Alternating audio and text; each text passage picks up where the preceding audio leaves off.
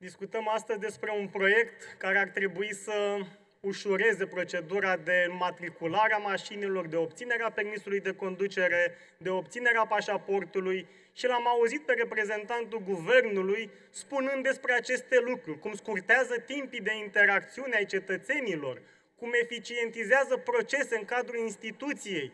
Haideți să vă spunem despre ce se întâmplă cu adevărat acolo. Vă prefaceți că digitalizați acest sistem într-un mod în care doar dumneavoastră la PSD vă pricepeți. În momentul în care noi discutăm, după digitalizarea dumneavoastră anunțată cu mare fast, pentru a obține userul și parola, pentru a putea să te conectezi la acest sistem, trebuie să te prezinți fizic la ghișeu.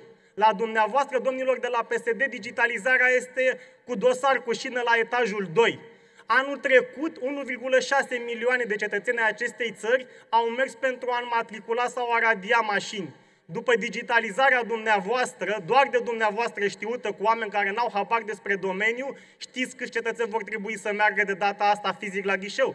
Tot 1,6 milioane. Pentru că conduce țara asta cu sus în jos, pentru că tocați banii de digitalizare, că vi se pare că sunt mulți și pentru că vom rata din nou ocazie de a scoate țara asta la lumină, pentru că dumneavoastră habar n-aveți despre digitalizare.